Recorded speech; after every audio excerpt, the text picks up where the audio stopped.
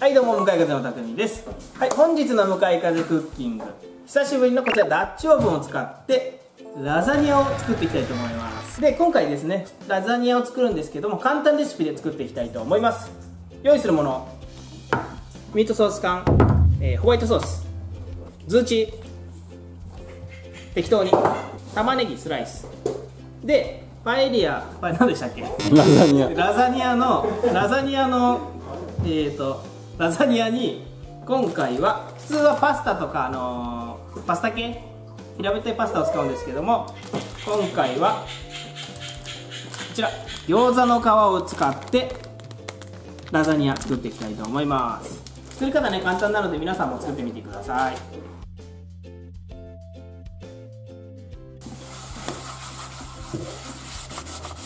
はいでまずは油を引いたところにミートソース。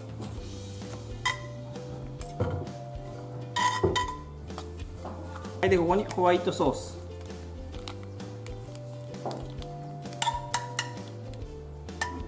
まあ男の料理なんでこの辺はちょっといいですよね。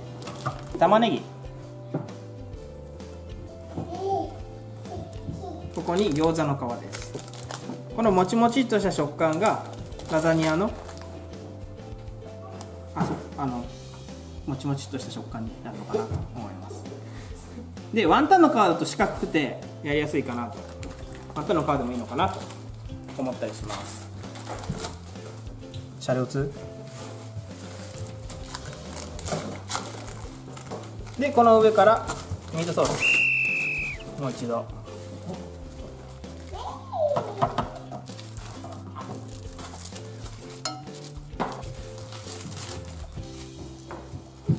でちょっとここにチーズも入れますさっき忘れてたわけじゃないですチーズ、えー、ちょっと今日は枚数が少ないのでこんな感じで。キャンプでやりたいね。キャンプ料理。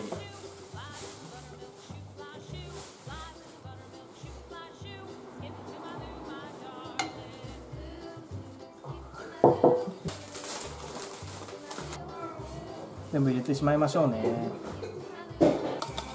で最後に残ったミートソース缶を入れていきます。でチーズ。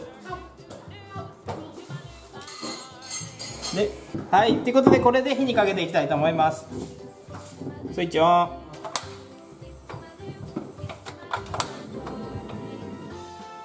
えー、弱火で少し。でダチョウ蓋をしていきます。じゃちょっと待ちます。5分経ちました。揚げていきたいと思います。321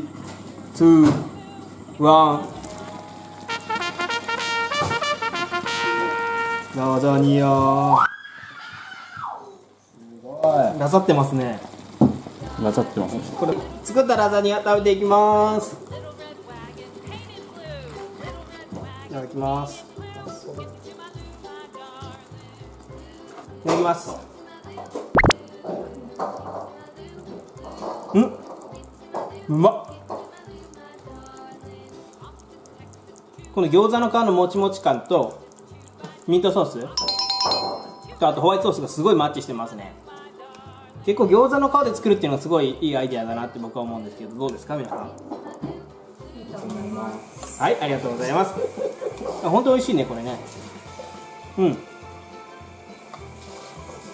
もうちょっと水分飛ばしたらすごいラザニアっぽいで餃子のもちもち感と玉ねぎのシャキシャキ感まだ残っているのでとっても美味しくできたと思います。